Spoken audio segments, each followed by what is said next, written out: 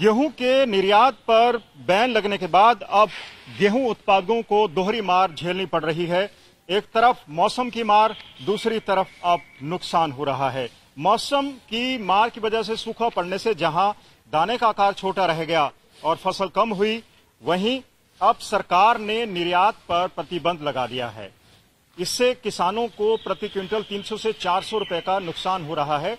हालाँकि सरकार ने 31 मई तक अब प्रोक्योरमेंट की विंडो बढ़ा दी है लेकिन किसान किसान संगठन और राजनीतिक पार्टियाँ केंद्र सरकार से आग्रह कर रही है कि वो तुरंत एक्सपोर्ट पर लगाया गया बैन तुरंत हटा दे ताकि किसानों को ज़्यादा मुनाफा हो।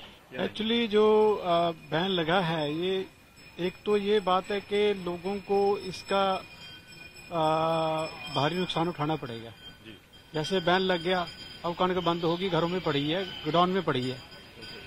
जब वो लोगों की डिमांड बढ़नी, इन्होंने महँगे रेट में बेचनी है। तो एक्सपोर्ट का मतलब तो ये है कि जब एक्सपोर्ट क्यों नहीं कर रहे? क्योंकि हमारी इस टाइम झाड़ भी कम है। पैदावार कम हुई है। जब पैदावार कम हुई है, हमारी जो एजेंसियाँ हैं, इन्होंने खरीदारी लगातार करनी चाहिए। ताकि जो गरीब बंदा लेट फिट आ रहा है कॉन्ट्रैक्ट बेस पे जो एम्प्लॉज है या कोई दिहाड़ीदार बंदा, वो उसका पैसा लेट आता, वो ले सकता। अगर उसको आप दोबारे ये गोडाउन से निकाल के महँगे भाव में बेचेंगे तो गरीब का नुकसान होएगा और जो हरासमेंट है किसान की वो भी बढ़ती चल जाएगी। ठीक है इसलिए हम चाहते हैं कि ये इसका बैन हटना चाहिए।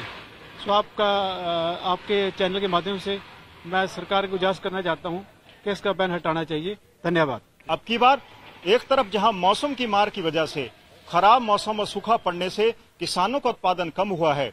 वहीं अभी तक राज्य और केंद्र सरकार ने किसानों को मुआवजा देने की घोषणा नहीं की है। कैमरा पर्सन अमन गुप्ता के साथ मंजीत सहगल, मोहाली।